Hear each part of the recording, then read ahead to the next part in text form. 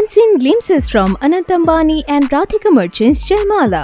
Anant Ambani and Radhika Merchant finale tied the knot on July 12 in a grand star-studded ceremony. The lovely couple looked head over heels and couldn't stop smiling throughout their wedding. Every moment of the much-awaited night is making rounds on the internet, and we can't stop drooling and scrolling over them. And now we got our hands on some unseen glimpses from Anant Ambani and Radhika Merchant's Jaimala, Fere and Sindoor Rasam. In the Jaimala ceremony, Anant was seen putting a garland on Radhika, who couldn't stop blushing while the elated parents of the bride and groom adored them.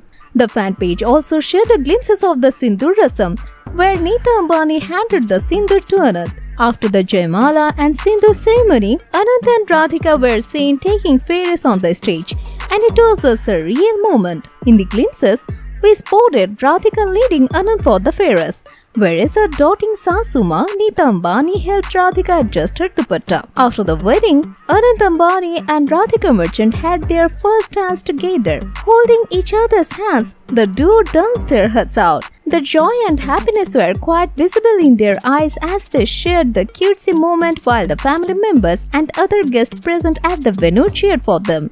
Well, we're in love with cutesy Jodi of Anant Ambani and Radhika Merchant.